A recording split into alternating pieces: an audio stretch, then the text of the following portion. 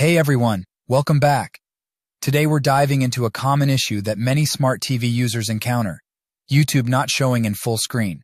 It can be frustrating, but fear not, because we've got some troubleshooting steps to help you get that full screen experience. Before we jump in, if you find this video helpful, don't forget to give it a thumbs up and subscribe for more tech tips. Let's get started.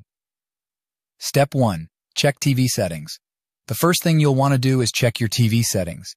Navigate to the display or picture settings on your smart TV.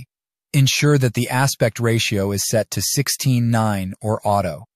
This setting is crucial for proper full screen playback. Step 2. Update YouTube app. Outdated apps can sometimes cause display issues. Head over to your smart TV's app store, find the YouTube app, and make sure it's updated to the latest version.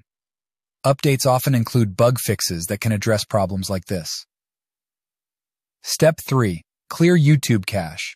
If you're still facing issues, try clearing the cache for the YouTube app. Go to the app settings on your smart TV, find YouTube, and clear the cache. This can resolve any temporary glitches affecting the display. Step 4. Check internet connection. Poor internet connectivity can impact video playback. Ensure your smart TV is connected to a stable and fast internet connection. You might also want to restart your router to refresh the connection. Step 5. Power cycle your TV.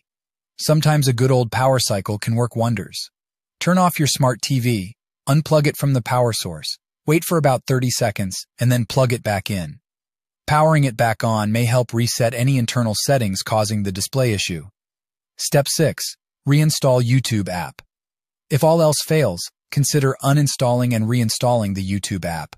Sometimes, a fresh installation can resolve lingering issues. Delete the app, restart your TV, and then download and install the YouTube app again. And there you have it.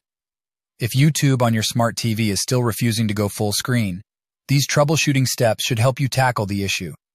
Remember to let us know in the comments if you found this video helpful or if you have any other tech topics you'd like us to cover. Thanks for watching and happy streaming.